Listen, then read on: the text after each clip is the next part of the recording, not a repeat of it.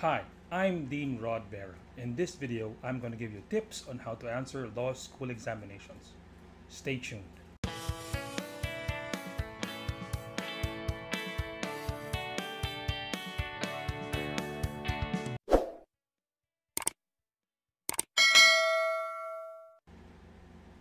Hello again.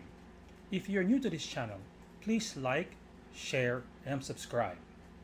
It'll help my channel grow. And the best of all, it's free. Every law student dreads midterms and finals. It's a day they can't sleep, it's a day they can't eat, it's a day they can't talk to their parents or their friends. Law school exams are hard, but just note and remember that it's only four times in a school year two midterms and two finals in two semesters. Tip number one when you get the exam or the test paper, don't panic. Relax, read the instructions, make sure you follow them carefully to the letter. Then have an overview of the questions. See what sort of topics are involved in the questions. Are they beyond what the coverage was or are they within the coverage? Before you start answering the questions, read them all. Map it out.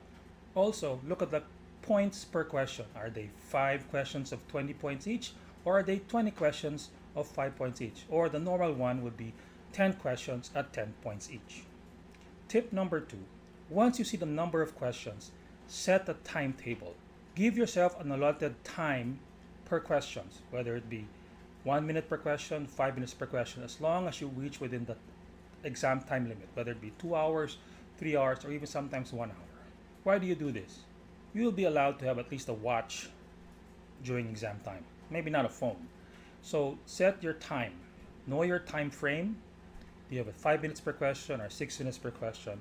Then make small notes on a test paper and see where you cut off on the time. For example, from 1 o'clock to 105, question number 1. From 106 to 110, question number 2, and so forth and so on. It is sort of a time management per the exam. That way you know that how many minutes you have left over for the harder questions. Which brings me to tip number three. Once you have the overview of the questions, map out or check out which are the hardest for you to answer. Then answer them first. Answer the questions that are easy or at least you know the answer to last. Some people do it the other way around. But answering the harder questions first, giving the most time to it, you know that when it comes down to the easier questions, you already know the answer, you already know how to explain them, and therefore you only need maybe one or two minutes for the easy question. For example, if there are 10 questions, answer the five hardest first and the five easiest later. Tip number four answer the question and not your questions. In my experience, some law students fall into this trap. Look at the questions know what they're asking and know what they're looking for. For example, if the question is about damages due to the fault of the debtor, don't answer as if it's about delay or breach of contract. Answer specifically. For example, in criminal law, if the question is about exempting circumstance, don't answer anything about justifying circumstance. Don't mix your answers. The professor wants you to know and wants to check whether you know the issue of the question. Look for the issue and answer that issue only. Tip number five answer the question directly. If it's a yes or no, answer yes or no. Have it in the first two lines of your answer. Don't put it in the second part. The professor would want to see that you know the answer right away. Then explain. If you write the explanation first, the professor will have to look for the answer. Tip number six do not add facts in the question. Do not add anything beyond the question. When you answer the question, think of horse blinders.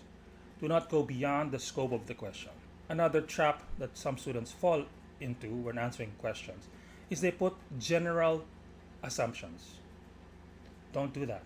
For example, if the question is about delay, don't add, well, it's always traffic in Metro Manila or always traffic where I'm from, therefore that's what the cause of the delay if, it, if they are not part of the facts of the problem, don't put them in issue. Tip number seven be consistent in your reference. If the facts of the case or the facts of the problem are 100% similar to the case that you know, then you can cite the case. People versus blank or A versus B. If you're not sure, just say jurisprudence states or jurisprudence says so. It's about the law. You can cite the general name for the law, such as the Revised Penal Code, the Civil Code, or the Intellectual Property Code. If you try to cite the Republic Act number and you make a mistake, the professor will fault you for it. It's better to give them the popular name rather than the actual law number. And here is the eighth and most important tip. Try to answer your essays in six or seven lines, no more than that. A professor wants to see that you can answer the simplest and the quickest way as possible. But make sure it's the correct answer. If they see a 10 line or 12 line answer, they will think that you don't know the answer and you're just going around in circles.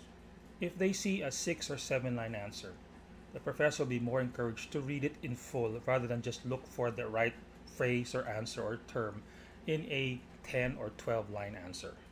This is not high school or college. You don't need to swing around your answer in a long essay. Also, this is a good training for the bar exam. Just remember, bar examiners can check up to 10,000 booklets in, in just four months. They're going to be tired when they see that your test will have 10 to 12 lines and you're the 8,000 booklet to be answered or to be checked. Here's my bonus tip. Never answer a law school exam with it depends. That is the worst way to start off a law school exam. That means you're not giving a definitive answer. You're giving two possible answers when the professor only wants to see one. If the question demands an alternative answer, then answer that way. But if not, go straight to the point. I said before, don't put in your essays or your answers, I think, or in my opinion, no. That's the wrong way to answer a question. The professor will mark you wrong even though you are correct. I hope you learned something from this video on how to answer law school exams. If you have any other suggestions on what other videos you want for law school advice, please put them in the comments and I'll try to do my best to make a video on that topic. This is Dean Rod Vera saying, I wish you good luck in your law school career and I hope you'll be a lawyer someday. Remember, it's not what you know, it's what they don't know. Goodbye.